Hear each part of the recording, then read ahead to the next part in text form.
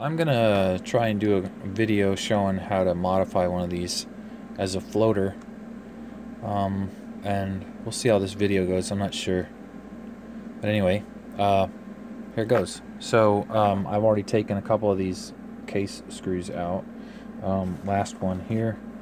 Uh, this isn't to be easy because I'm trying to do this while I hold the camera which is stupid but it is what it is okay. So get that up out of the way. And then this cover just folds off. Folds off. The little uh, insulating shield here. This comes up. So anyway it folds off. You'll see how it hinges here in a second. There's a couple of little bits right there. See those? Those fit in those and there's three of them along the rail there. So anyway that just hinges off. Set that aside. Flip the cover up turn this around easier to work with. Alright so the next thing to take out because we're going to basically take all this out is this screw. And then once this screw comes up this power piece right here this power connector just uh, it just lifts up and out of the way. So we'll take this out and lift this up and then exposes another screw under here. So to do that I got to set this down and I'll come back. And we're back. So uh, I wonder if this autofocus will work. Anyway uh, so now we can sort of wrangle this out uh, gently. There's some bits that we don't want to yank on too hard so now that comes out of the way. You can see the screw. So we'll take that puppy out. Uh, sorry I know these kind of videos suck but I just wanted to try to get it documented on how I did it. So here we go taking this out and I'll come back. Okay so that screws out.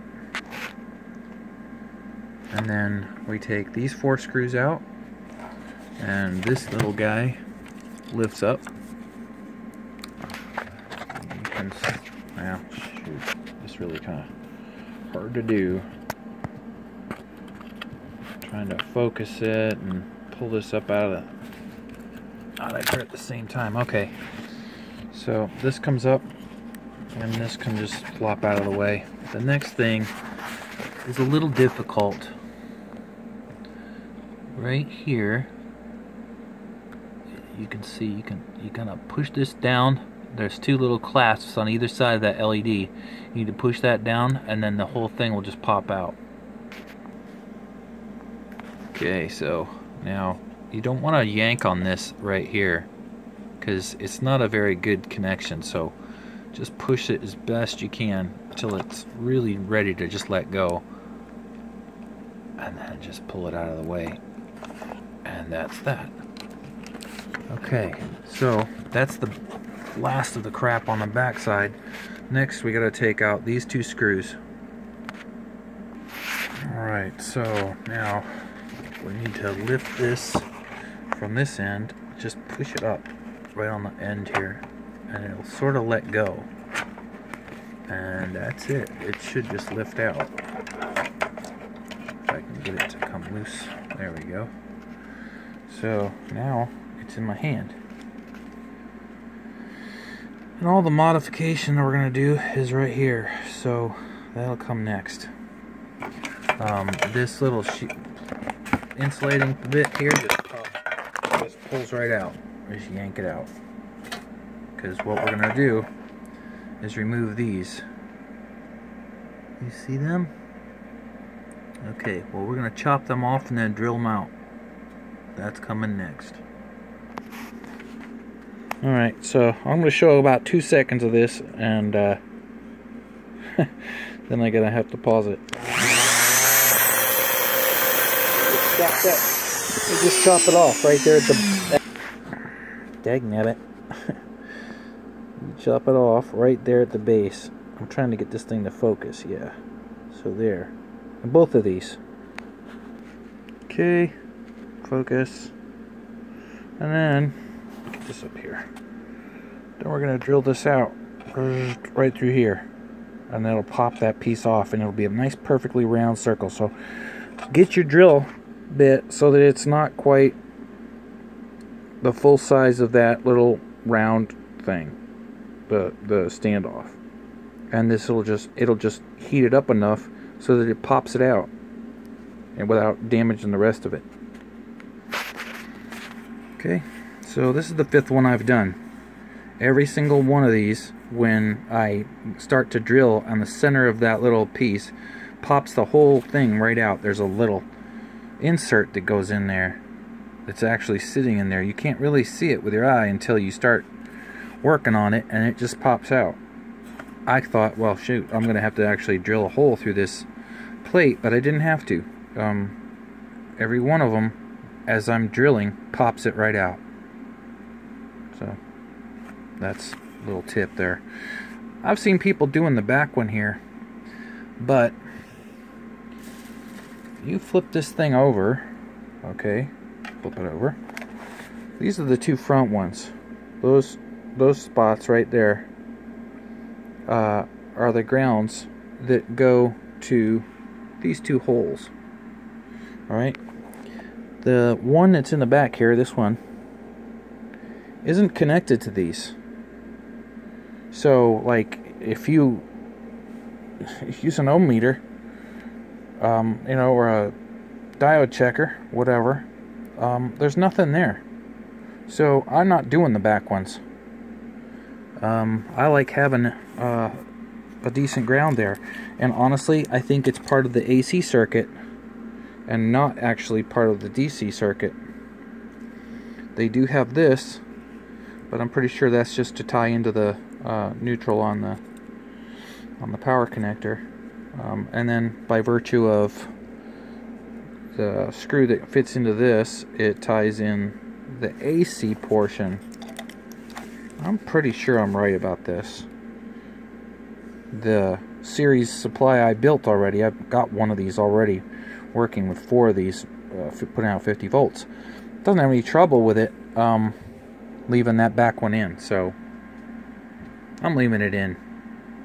I haven't found any reason not to yet. Alright, so what we're what we're going for here is to stick a couple of nylon screws through here, a spacer on there, and then be able to reinsert the board and have it that insulate the the output the DC output of the supply from the frame and from the ground because this is supposed to be a floating power supply this particular one we need three out of four to be floaters uh, for my 50 volts supply alright so anyway I'll, I'll show you this in a second alright so now the next step after we drill these holes out, I stick this plastic bit back in the insulating panel. then we stick uh, stick these nylon screws through, and we put our little spacer on here. These spacers I have are ugly. I had to cut them in half, but uh,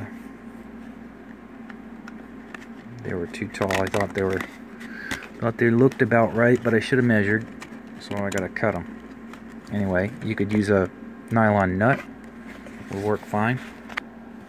As long as it's thick enough.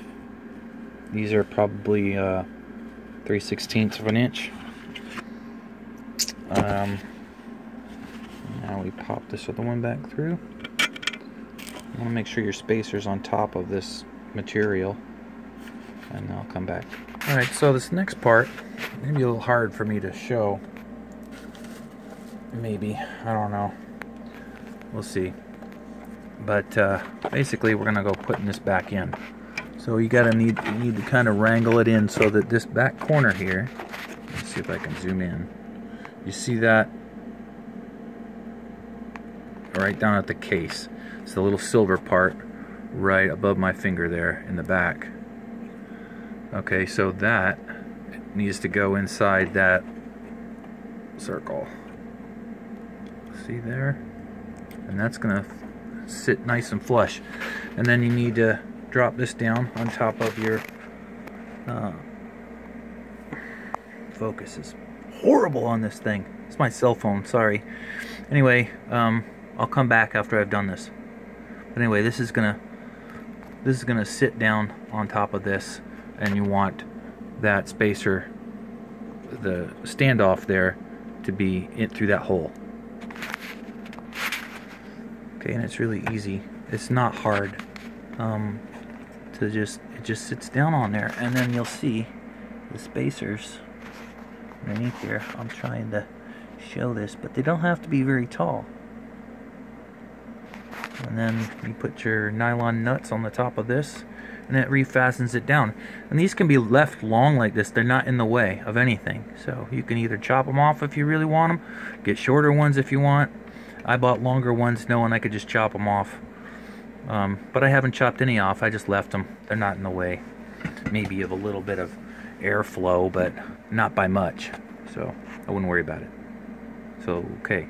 So now um, we put the, the two nuts on these, tighten them down, and that screw back there in the case. Okay, so here's my spacers. They're not pretty, but they don't have to be, and they don't have to be perfect either. So don't waste your time. Alright, so that's in. And now uh, the fan goes back in, and it's just basically reverse of what we took out. So I'm going to go ahead and reassemble this part. Um, fan goes back in here, screws go in the fan, light goes back in a little light socket this fits back down in there and then we're about done and I'll come back. Okay, don't forget to attach the screen wire. It's your AC ground for the chassis. You don't want to get zapped or kill yourself or do something stupid. You want that on. Make sure you reattach it. Okay. Alright, so next step, next step. Actually, this should have been the first step, but um, I've done so many of these that I skipped it. You want to get something like uh, liquid solder flux. You want to put a little bit on these pins right here.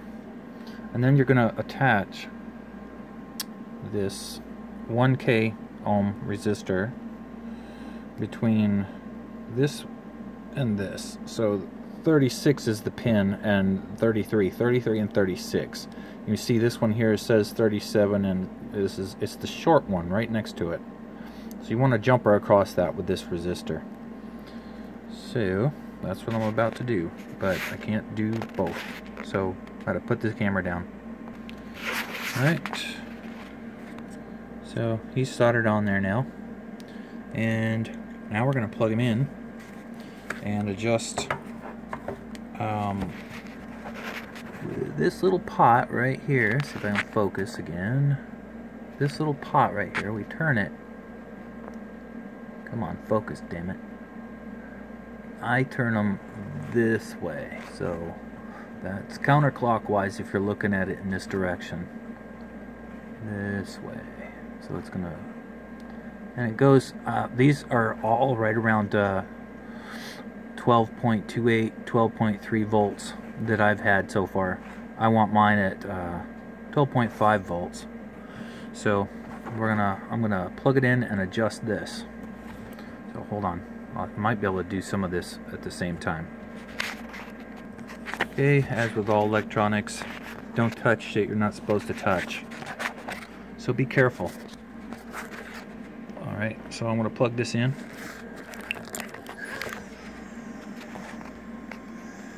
And the light comes on. I can't show you that because, well, maybe it's showing up I've got my, let's see, maybe if I do this.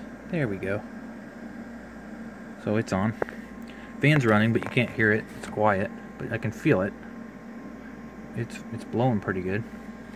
Alright, so now we need to move this guy over. I need to get my voltmeter out and again, turn this little pot with a tiny little screwdriver. See how little this driver is?